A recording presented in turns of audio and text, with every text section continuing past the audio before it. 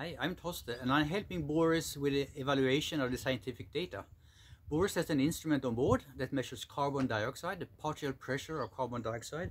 On the dashboard here you can see the last 24 hours or so of carbon dioxide data together with salinity and temperature of the water.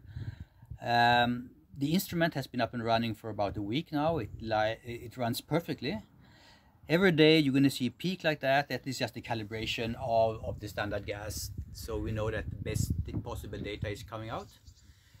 Interesting enough so far the carbon dioxide has been lower than the carbon dioxide in the atmosphere.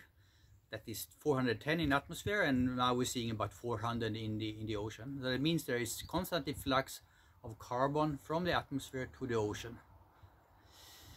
The last 24 hours Boris sailed through or very close to the tropical storm Theta. And interesting enough, we saw an increase of carbon dioxide concentration as Boris approached and went in towards the storm.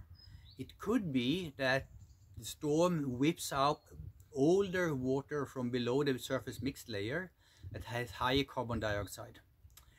It's not quite consistent because we also see a higher temperature. If that was the case, we would actually expect lower temperature.